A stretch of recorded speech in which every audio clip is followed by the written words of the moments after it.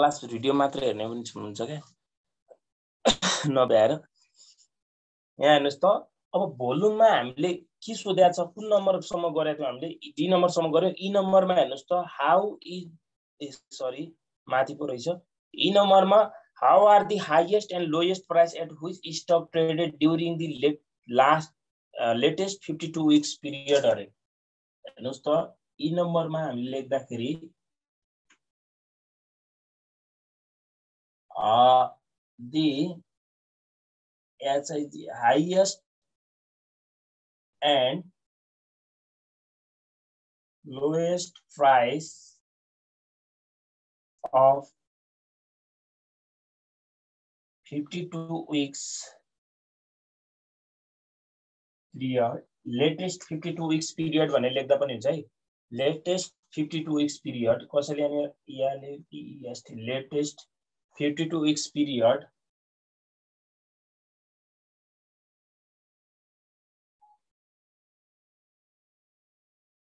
Fifty-two periods are rupees 425 and rupees 392 respectively.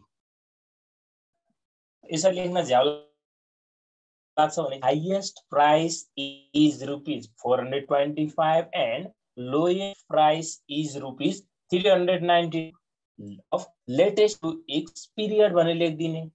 एउटै कुरा त हो नि आखिर, होइन? यी नम्बर है यो।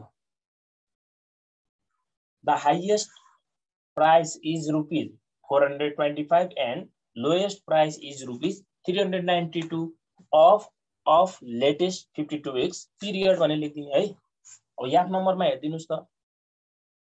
याद नम्बरमा के भन्छ? How many share stock were traded भन्छ। Number of share traded in the trading days त्यो दिन भएको जम्मा सेयर हो नि। याद नम्बरमा number of shares T R A D E D traded equal to कसरी निकाल्नु पर्छ अरे भिओएल हन्ड्रेड एस कति छ? इन्टु हन्ड्रेड गर्दा fifty three thousand six hundred shares आउँछ। अब तपाईँले आन्सर यतिमै नछोडिदिनु होला। अब तपाईँले हाउ मेनीको ठाउँमा fifty three thousand six hundred shares were traded भनेर लेखिदिनुहोस् how many shares of stock shares of stock where traded on uh, traded on on day on day वेट क्युटेसनमा भएको दिनमा भएको जम्मा सेयर बिक्री यति हो भनेर है?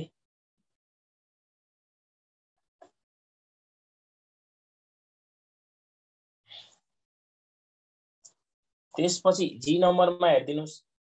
At what price did the stock close on the immediately preceding days? ल क्वेसनमा प्रिसिडिङ डेज भन्ने आयो भने प्रिसिडिङ डेज भनेको प्रिभियस डेजको अघिल्लो दिन भनेर बुझ्नु होला क्या। अघिल्लो दिन अथवा प्रिभियस डेज भनेको जस्तै हामीले आज नेप्से माइनस यति यतिले घट्यो भन्ने हुन्छ क्या। जस्तै मानौ आज नेप्से कतिले घटेको छ? दसले घटेर कति पुग्यो मानौ? रुपिस थ्री नेप्से भन्दा नि एउटा नबिल ब्याङ्कै भनिदिउँ न है म। एनएबिआइएल नबिल ब्याङ्कै उदाहरण दिउ। आज नबिल ब्याङ्क अब अहिले त ट्रान्जेक्सन भएकै छैन। हिजोको कुरा गरौँ म। हिजो दस रुपियाँ घटेर कतिमा पुग्यो ल? पन्ध्र सय तिसमा पुग्यो भने। हिजोभन्दा प्रिभियस डे अगाडिको कति थियो भन्नको लागि त यसमा यो जोड्नु पर्ने होला नि त घटेको भए त। भनेपछि योभन्दा अघिल्लो दिन कति रहेछ त? पन्ध्र सय चालिस रहेछ त्यही भएर पो दस घटेर पो पन्ध्र सय तिस पुग्यो त। यदि यहाँ बढेको भयो हिजो बढेर यहाँ कति पुगेको भयो ल पन्ध्र सय तिस पुगेको भयो योभन्दा अघिल्लो दिन कति रहेछ त? पन्ध्र सय बिस रहेछ त्यही भएर बढेर पन्ध्र सय तिस भयो भन्ने हुन्छ। हो कि होइन? भन्नुहोस् त। प्रिसिडिङ डेज प्राइस निकाल ल लेखिदिनुहोस् त। एउटा नोट लेख्नुहोस् त्यो नोट अब तपाईँहरूले यसरी कन्सेप्टली बुझ्नुभयो भने बुझ्नुभयो बुझ्नु भएन भने त्यो नोटहरू लेख्नुहोस् त। प्रिसिडिङ डेजको प्राइस निकाल्न सोध्यो भने प्रिसिडिङ डेज दियो अनि क्लोज प्राइस निकाल्न सोध्यो है। प्रिसिडिङ डेजको प्राइस निकाल्दा प्रिसिडिङ डेजको प्राइस निकाल्दा प्रिसिडिङ पिआरइसिइडिआइएनजी है। पिआरइसिइडिआइएनजी प्रिसिडिङ डेजको प्राइस निकाल्नु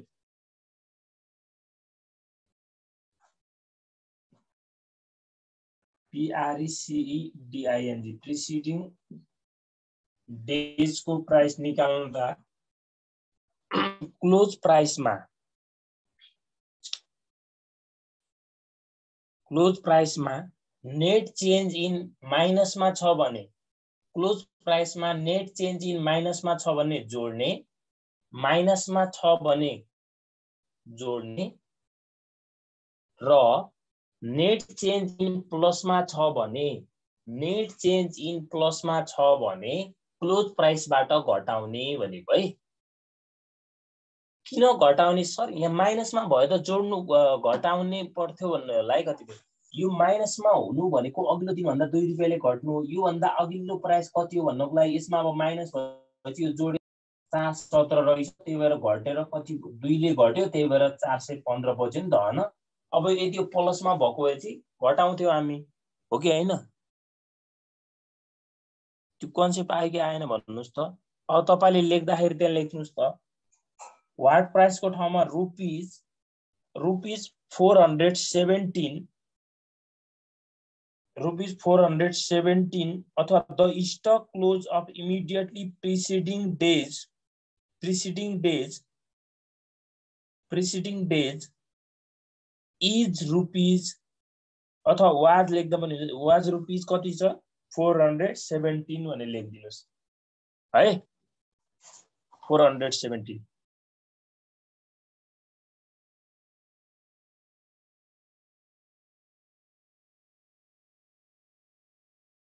अब हेर्नुहोस् त त्यसैको मुनि चौरात्तरको क्वेसन चौरात्तरमा अनि के सोधेको छ त्यहाँ?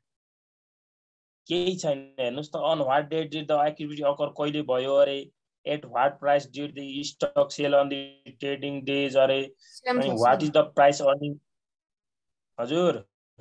सेम नै छ। सेमै छ।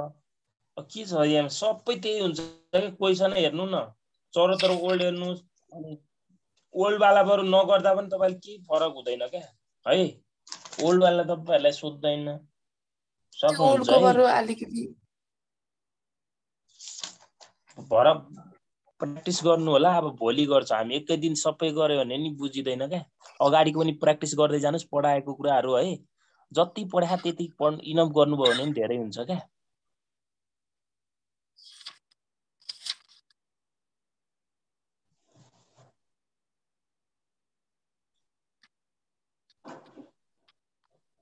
ल अब हामी कन्टिन्यू कर्पोरेट पढ्छौँ है।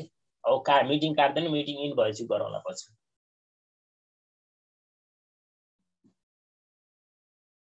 अब इन्भेस्टमेन्ट पढ्ने हुनुहुन्छ नि जो। इन्भेस्टमेन्ट जोड्ने अबको चालिस या पैँतालिस पछि जोडिनु होला है। कर्पोरेट नपढ्ने इन्भेस्टमेन्ट मात्र अनि आउनुला है। अब त्यो इन्भेस्टमा त्यो दोहोऱ्याउँदिनँ नि फेरि दोबारा त्यो च्याप्टर म्युचुअल फन्डलाई मैले दुइटैतिरबाट एकदम कभर हुने गरी पढाइरहेको छु त्यसमा। त्यहाँबाट एकदमै तिनटै सब्जेक्ट पढ्नेहरूको लागि त कति मार्क्स आउँछ भनेपछि सत्ताइस मार्क्सको न्युमेरिकल भइहाल्यो। त्यही च्याप्टरबाट दसदेखि बाह्र मार्क्सको पनि न्यु थ्योरी पनि आउँछ। हेर्नुहोस् त एउटै च्याप्टरबाट कति मार्क्स आउँदो रहेछ? थर्टी नाइन भएन। ल थर्टी नाइन भयो। एकछिन है एक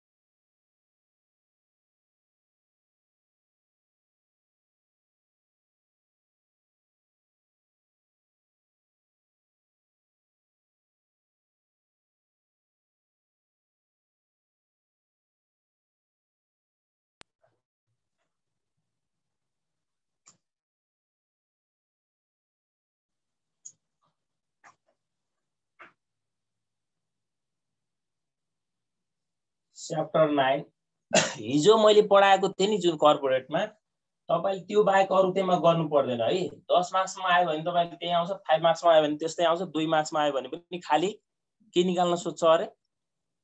इन्स्टलमेन्ट अमाउन्ट मात्र निकाल्न सोध्छ है। च्याप्टर नाइन यो पनि हामी भोलि लगभग पन्ध्र मिनटमा सकिन्छ यो। सक्यो भने त आज पनि सक्न सकिन्छ होला। डेरिभेटिभ्स एन्ड रिक्स म्यानेजमेन्ट अहिले यो नयाँ सिलेबस भएबाट म्याक्सिमम एउटा न्युमेरिकल टु मार्क्स सोधिरह हुन त यसको वेट भनेको टु अर फाइभ मार्क्स चाहिँ न्युमेरिकल हो है।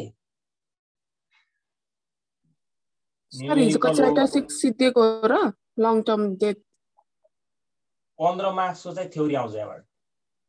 थ्योरीको लागि मैले यहाँ पढाउँदिनँ है तपाईँहरूले आफै गर्नु होला जसलाई म थ्योरी गर्नेछु भन्ने हुन्छ नि यो डेरिभेटिभ एन्ड रिक्स म्यानेजमेन्टमा पन्ध्र मार्क्सको थ्योरी पनि आइरहेको हजुर हिजो सकिहाल्थ्यो केही छैन त्यो।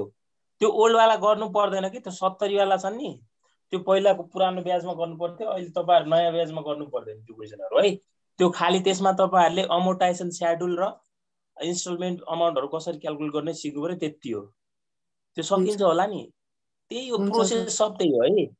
डेरिभेटिभ एन्ड रिक्स म्यानेजमेन्ट हामीले यहाँ पढ्ने डेरिभेटिभ भनेको फाइनेन्सियल डेरिभेटिभ है तपाईँले त्यो म्याथमा पढ्नु भएको थियो गर्दै त्यो डेरिभेटिभ हामीले यहाँ पढ्ने होइन। डेरिभेटिभ हामीले पढ्ने भनेको यहाँ हेर्नुहोस् है यहाँबाट एकदम यति सजिलो छ तपाईँलाई टु मार्क्समा आयो भने त एकछिनमै बन्छ। टु अर फाइभ मार्क्समा फाइभ मार्क्समा आयो भने अलिक दिमाग लाउनुपर्छ अनि हेर्नुहोस् त पन्ध्र मार्क्स थ्योरी त अनिवार्य भइहाल्यो है। भनेपछि कति इम्पोर्टेन्ट होला यो लेसन अब एक दुई दिनमा आज र भोलि मात्र पढेर भ्याउँछ त यो लेसनले? भ्याउँदैन नि। त्यही भएर तपाईँहरूले डिटेल्ली थ्योरी कसैलाई पन्ध्र यहाँ हेर्नुहोस् है दुई into sorry three into fifteen marks गरेर हाम्रो फोर्टी फाइभ हुन्छ नि। यसमा ओन्ली एटेम्प कति हुन्छ? टु क्वेसन हुन्छ। हो यसमा एउटा थ्योरी आउँछ। कसैलाई न्युमेरिकल छोड्नु मन लाग्छ भने चाहिँ सकेसम्म न्युमेरिकल नछोड्नु होला। न्युमेरिकल बढी मार्क्स आउँछ थ्योरी भन्दा। त्यही भएर मैले चाहिँ यो के भनेको थ्योरीको पार्टको लागि पनि इम्पोर्टेन्ट भयो है। हेर्नुहोस् है अब derivatives it is a financial derivative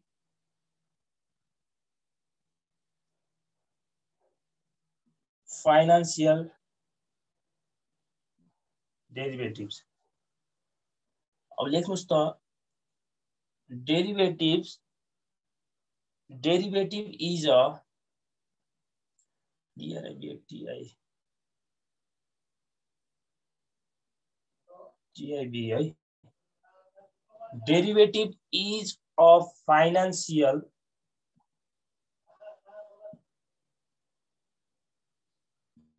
assets. Derivative is of financial assets which sorry derivative is of financial assets which not whose whose value depends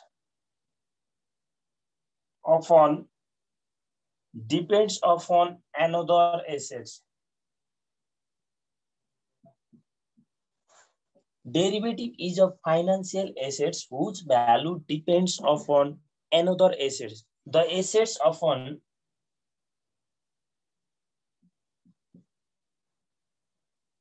the assets often the assets often which the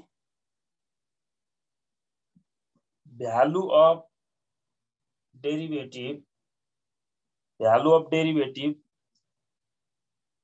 lies is called underlying assets which the value of derivative lies is called underlying assets अब यहाँ हेर्नुहोस् है म तपाईँलाई एउटा example दिन्छु।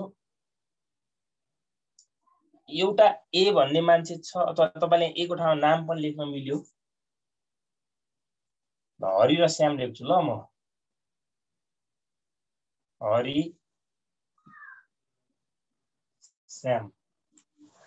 हरि र श्याम दुईवटा मान्छे छन्।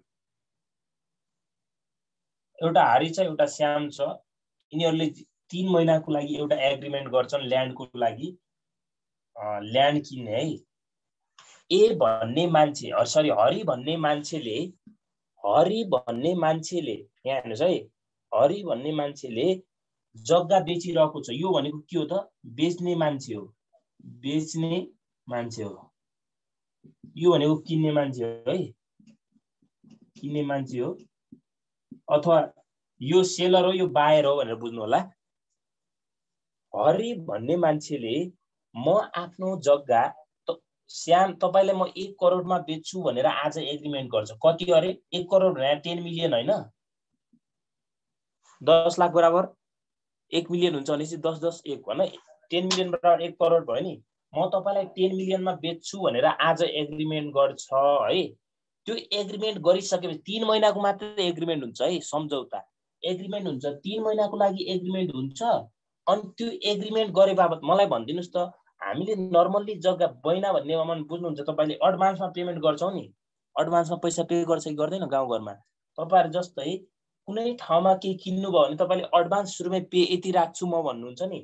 जस्तै यो भन्ने मान्छेले उहाँ चाहिँ कति दियो त? फाइभ लाख रुपिज एक करोडै लेखौँ न यहाँ फेरि लाख एक करोड एक करोडमा चाहिँ जग्गा किन्छु भनेर बीसँग सम्झौता गर्यो होइन त्यसको बाबत अहिले नै एडभान्स कति पे गर्यो उसले पाँच लाख तिर्यो है पाँच लाख आजको दिनमा तिर्यो र हरि भन्ने मान्छेले तिन महिनाभित्र श्यामलाई जसरी पनि के गर्नुपर्छ जग्गा के गर्नुपर्छ भन्नुहोस् त बेच्नै पर्छ है यो किन्न आएपछि यसले बेच्नै पर्छ तर तर यहाँ के भइदिन्छ हेर्नुहोस् त यो हरि भन्ने मान्छेले आफ्नो अधिकार बेचेको हो नि यसलाई अहिले। अहिलेको लागि त अधिकार मात्र बेचेको त हो नि होइन? राइट मात्र यहाँ के भएको छ? ट्रान्सफर भयो क्या। हरिको राइट कसलाई ट्रान्सफर भयो? श्यामलाई ट्रान्सफर भयो। कसरी ट्रान्सफर भयो भन्नु होला यो हरि भन्ने मान्छेले अब यो जग्गा हरि यो श्याम बाहेक अरूलाई बेच्नै पाउँदैन क्या। बेच्यो भने त मुद्दा लागिहाल्यो नि। बेच्न पाउँदैन। तर श्याम भन्ने मान्छेले जुन यो पाँच लाखमा यसको राइट किने नि यो राइटलाई चाहिँ अरू ठाउँमा अथवा अर्को मान्छेलाई बेच्न सक्छ यहाँ थर्ड पर्सन आउन सक्छ क्या? थर्ड पर्सन अर्को आउन सक्छ। यो थर्ड पर्सनलाई यसको पाँच लाखको हेर्नुहोस् है यहाँ पाँच लाखमा किने यससँग राइट यो राइटलाई उसले दस लाखमा बेच्न सक्छ। भनेपछि उसलाई कति बेनिफिट भयो त त्यहाँ? पाँच लाख रुपियाँ बेनिफिट भयो कि भएन? हो त्यो पाँच लाख रुपियाँ भनेको चाहिँ के हो त? भन्नुहोस् त। पाँच लाख रुपियाँ भन्नु नै उसको के हो त? फाइनेन्सियल डेरिभेटिभमा उसको यो अन्डरलाइन एसेटमा पऱ्यो है। अथवा त्यसलाई भएको प्रोफिट हो क्या। अब यहाँ उसले कतिखेर यो जस्तै यो जग्गा चाहिँ हरिसँग हुनै पर्छ।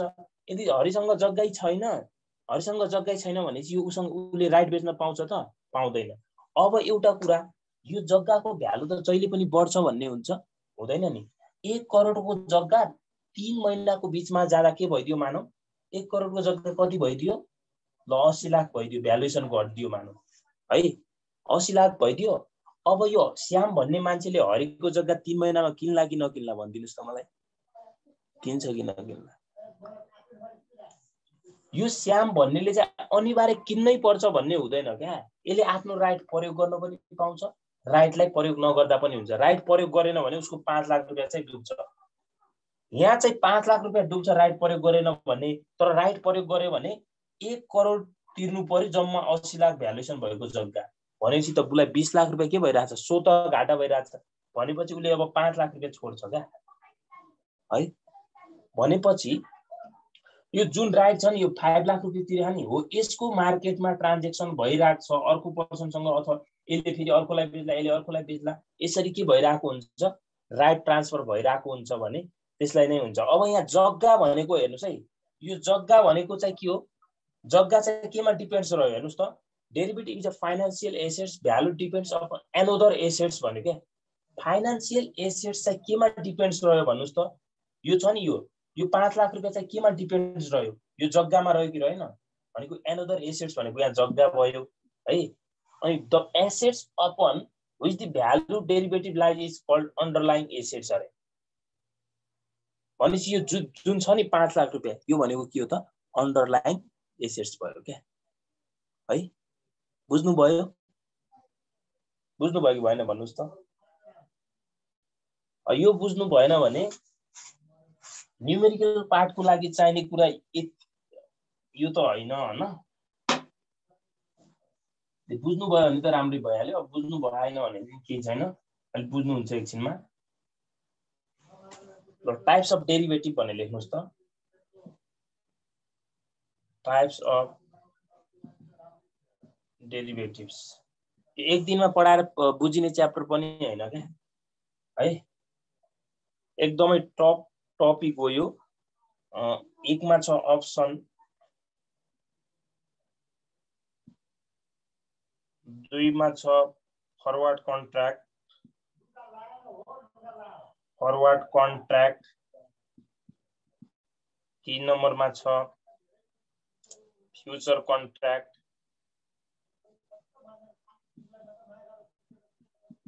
फ्युचर कन्ट्र्याक्ट चारमा छ एसडब्लुएपी अब हामीलाई न्युमेरिकलको लागि पढ्नुपर्ने पार्ट भनेको यो मात्र हो अप्सन मात्र है युपिटिएन अप्स ओपिटिआइओएन अप्सन मात्र हो। ल। अप्सनको लेख्नुहोस् अब।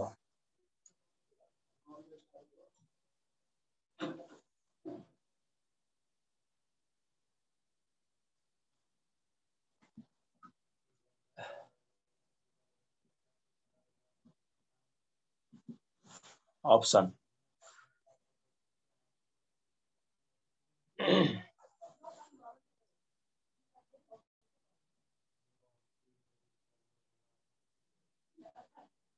option is a financial assets agreement between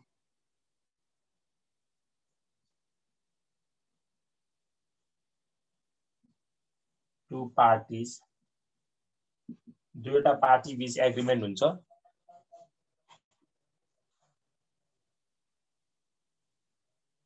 seller of an option seller of an option seller of an option is also हेर्नुहोस् त अप्सन बेच्ने मान्छे seller of an option is also called also called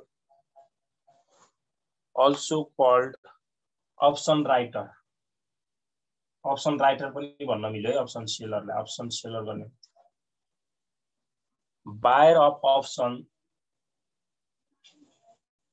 buyer of option option किन्ने मान्छे buyer of option option buyer गर्ने भनेको option holder हो। Option holder buyer of option तो option holder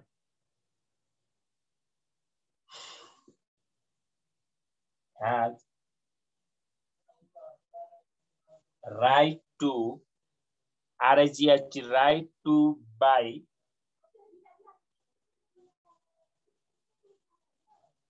underline sir W R I T L writer W R I T E R option writer right seller of an option is also called. Option बेच्ने मान्छेलाई के पनि भन्छ? Option writer पनि भन्छ भनेको है? अनि buyer of option buyer of अप्सनलाई option holder पनि भन्ने हो. Has right to buy the underline assets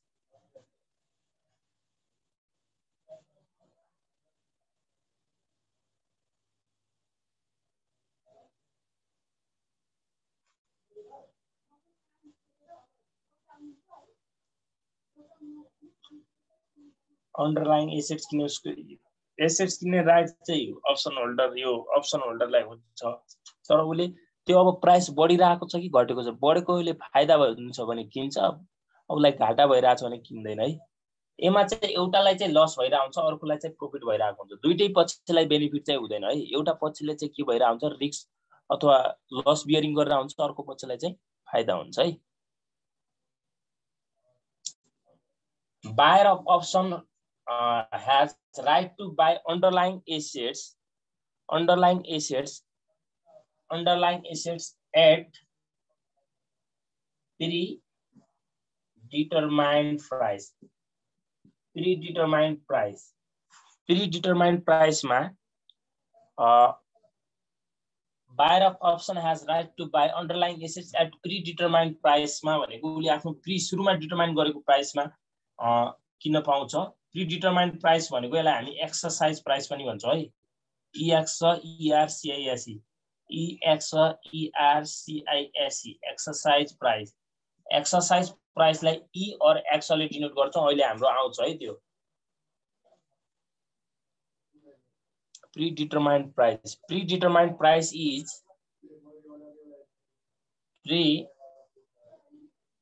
predetermined predetermined price is called EX ERCIS exercise EX ERCIS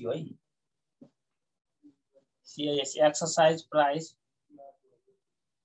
or STRIKE STRIKE strike price है यसलाई नर्मल्ली एक्सले डिनोट गर्छौँ एक्सले गर्दा पनि हुन्छ इले गर्दा पनि हुन्छ हामी तर एक्सले गरौँला सजिलो हुन्छ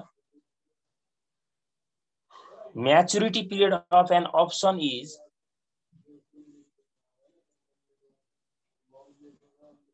maturity period of an maturity period of an option. Maturity period of an option is called expiration period. अघि एक्सपाइरेसन पिरियड कति कति महिनाको थियो भन्नुहोस् त? टाइम कति थियो एक्सपाइरेसन पिरियड जस्तै त्यो तिन महिनाभित्र नि उसले ट्रान्जेक्सन गरेन भने त्यो स्वत के हुन्छ? स्वत के हुन्छ? खारेज हुन्छ त्यो पछि ऊ हुँदैन क्या। जस्तै तपाईँले त्यो डेटभित्र चाहिँ हामीले जस्तै कुनै ठाउँमा एडभान्स पे गर्छौँ म यति दिनभित्र पे गर्छु र यति दिनभित्र म त्यो सामान लिन्छु भनेर हामीले अगाडि एडभान्स दिएका हुन्छौँ हामी त्यति दिनभित्र गएनौँ भने त्यो हाम्रो स्वत के हुन्छ? पैसा पैसा सकिन्छ अथवा हामीलाई त्यो पैसा बराबर के हुन्छ? नोक्सान हुन्छ लस हुन्छ क्या? है? जफत हुन्छ त्यो पैसा रिटर्न हुँदैन। नर्मली तपाईँले अप्सन भनेको के फाइनेन्सियल एसेट्स हो। यसमा चाहिँ एग्रिमेन्ट टु पार्टिजको हुन्छ। Seller of an option is also called के हुन्छ? अप्सन राइटर हुन्छ।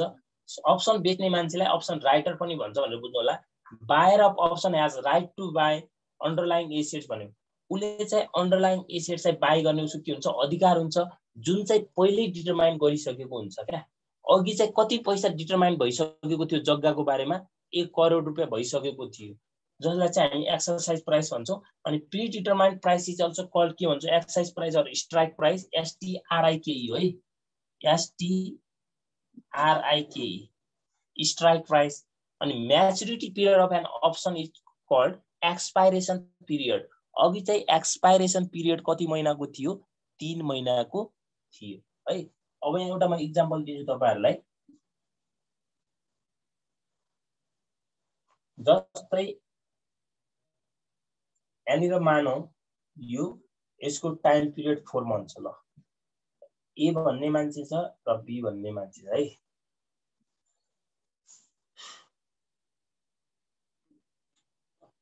ल यसले नेपाल बैङ्क लिमिटेडको नेपाल बैङ्क लिमिटेडको सेयर म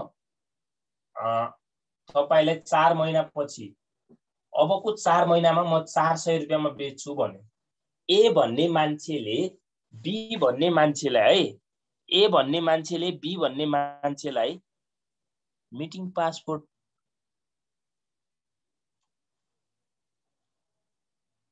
कसैले मिटिङ पठाइदिनुहोस् त त्यो। त्यसमा पठाइदिनुहोस् त। दिस मिटिङ विल इन्डेड भनेर। अब यो सिक्स मिनट छ। सिक्स मिनटमा म यो इक्जाम्पल भनिसक्छु। त्यसपछि हामी अझै पनि यसैको क्लास लिन्छौँ। कम्तीमा बिसदेखि तिस मिनट जति। यहाँ हेर्नुहोस् त।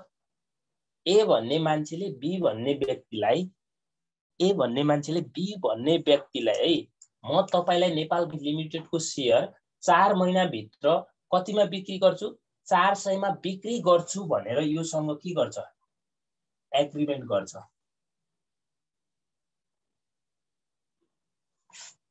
ठ्याक्कै उल्टो गऱ्यो यता यसले यसलाई त्योसँग एग्रिमेन्ट गर्छ है।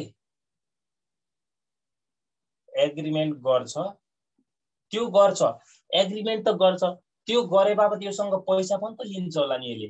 रुपिज कस्ट पर अप्सन लिन्छ हेर्नुहोस् त पर अप्सन नर्मल्ली हन्ड्रेड सेयरको हुन्छ। कति लियो मानौ? ल पचास रुपियाँ अथवा बिस रुपियाँ भनौँ न ल। एउटा सेयरको बिस रुपियाँ लियो म तपाईँलाई सय सेयर आजको अबको चार महिनापछि म चार सयमा बिक्री गर्छु भनेर भन्यो। भने हेर्नुहोस् त योबाट त जम्मा पैसा अहिले कति लियो? सय इन्टु बिस गर्दा कति लियो अहिले? अहिले चाहिँ दुई हजार रुपियाँ लियो होइन? अब यहाँ हेर्नुहोस् त अबको चार महिनापछि यसले चाहिँ योसँग के बेचेको होला भनिदिनुहोस् त मलाई आफ्नो। राइट बेचेको हो कि होइन? राइट टु यसको अब्लिगेसन हुन्छ है। यसको लिगल अब्लिगेसन हुन्छ यसलाई बेच्नै पर्छ। यसले चाहिँ राइट टु बाई भनेको यसको चाहिँ यो भन्ने ए भन्ने मान्छेको चाहिँ लिगल अब्लिगेसन हुन्छ बेच्नै पर्छ। लिगल अब्लिगेसन हुन्छ यसलाई बेच्नै पर्छ। तर यो बी भन्ने मान्छेको त राइट टु सेल चाहिँ हुन्छ है। सरी राइट टु बाई चाहिँ हुन्छ। राइट टु बाई यसले किन्न पाउने अधिकार चाहिँ हुन्छ। तर यस अप्सन होल्डर ए भन्नेको चाहिँ के हुन्छ? लिगल अब्लिगेसन हुन्छ जसले बीलाई चाहिँ बेच्नै पर्छ। यहाँ हेर्नुहोस् है। आज दुई हजार रुपियाँ तिर्यो। सय सेयर म तपाईँलाई चार सयमा म मलाई बेच्नु भनेर अथवा ए ए भन्ने बी भन्नेले चाहिँ यसलाई तिर्यो। तर अबको चार महिनापछि मार्केटमा प्राइस कति भइदियो मानौ? ल हजार रुपियाँ भइदियो।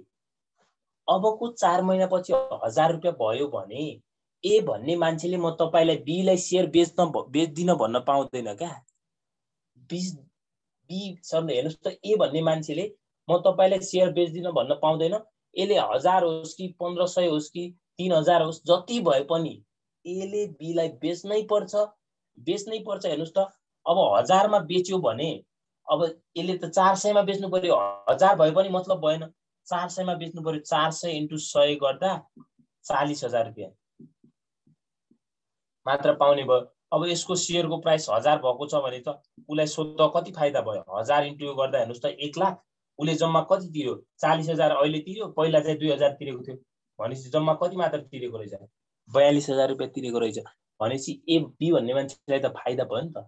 तर मार्केटमा सधैँ बढ्छ भन्ने छ त प्राइस छैन नि। यो प्राइस घटेर मानव कति भइदियो? यो प्राइस घटेर ल दुई सय भयो। प्राइस घटेर दुई सय भयो भने सयवटा सेयरको मूल्य कति हुन्छ?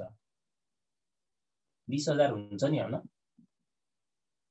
अब यसले चालिस हजार हाल हेर्नुहोस् त। अब यो सयवटा सेयरलाई चार सयको दरले किन्छ त मार्केटमा जम्मा यसको भ्यालु बिस हजार छ। मार्केटमा यसको भ्यालु बिस हजार छ भने चाहिँ अझ उसले चालिस हजार हानेर किन्छ त। बरु मेरो दुई हजार तै खा म किन्दिनँ भन्छ कि यो बी भन्ने मान्छेले। भनेपछि राइट टु सेल भनेको सरी राइट टु बाई भनेको राइटलाई चाहिँ तपाईँले अधिक युज गर्नै पर्छ भन्ने चाहिँ हुँदैन है? तपाईँलाई फाइदा भइरहेको छ भने तपाईँले लिने हो। फाइदा भइरहेको छैन भने तपाईँले छोडिदिन पनि पाउनुहुन्छ। तर ए भन्ने मान्छेले चाहिँ बेच्नै पर्ने हुन्छ। अझ यो बी भन्ने मान्छेले अर्कोलाई पनि बेच्न सक्छ क्या आफ्नो अधिकार है? यहाँ चाहिँ बिस रुपियाँमा बेच्यो किन्यो अर्को मान्छेलाई उसले पचासमा बेच्न सक्छ क्या आफ्नो राइट है? भनेपछि यसको राइट चाहिँ के भइरहेको हुन्छ? ट्रान्सफर भइरहेको हुन्छ है? यसको ठ्याक्कै पुट अप्सनमा चाहिँ के हुन्छ भने चाहिँ यो चाहिँ अब यसले चाहिँ अघि बेच्छु भन्यो अब चाहिँ यसले किन्छु भन्छ क्या। पुट अप्सनमा चाहिँ त्यही हो अरू केही हुँदैन है। Types of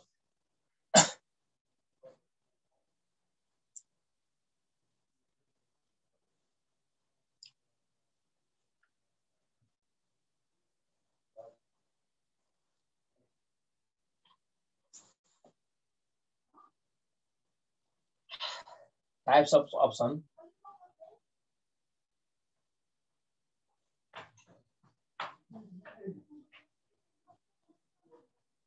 call option भयो फुड अप्सन अनि स्टाइल अफ स्टाइल अप्सनका स्टाइलहरू एउटा अमेरिकन हुन्छ. युरोपियन युरोपियन अप्सन हुन्छ है. अर्को भनेको अमेरिकन कसैले यो टाइप्समै राखिदिएको हुन्छ टाइप्स होइन है यो भनेको